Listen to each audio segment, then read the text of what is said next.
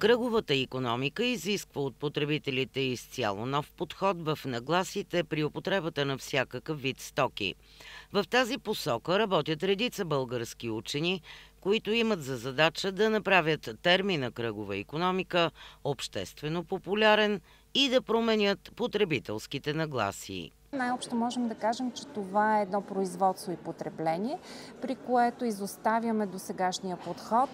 консумираме, изхвърляме отпадъка, не се интересуваме от а, всички съпътстващи а, стоки, елементи, които са обект в последствие на един процес на депониране, който се извършва в България, а се интересуваме само от самия продукт, който използваме докато може и докато самия производител е планирал неговия жизнен цикъл, след което се освобождаваме от него, без да се интересуваме какво се случва на практика след това. Кръговата економика се опитва да даде именно отговор на този въпрос. Тоест ние да бъдем ангажирани с това, че този продукт, който използваме, независимо какъв е той, ще се опитаме да удължим неговото приложение чрез различни процеси, като поправка,